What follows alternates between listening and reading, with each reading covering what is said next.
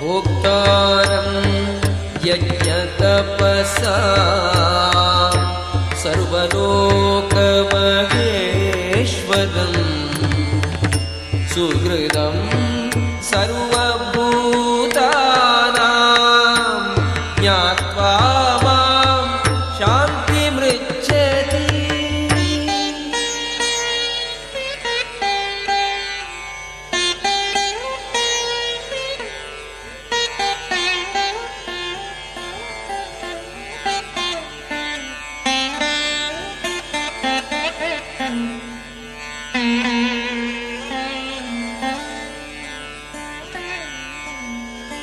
ॐ तत्सदिति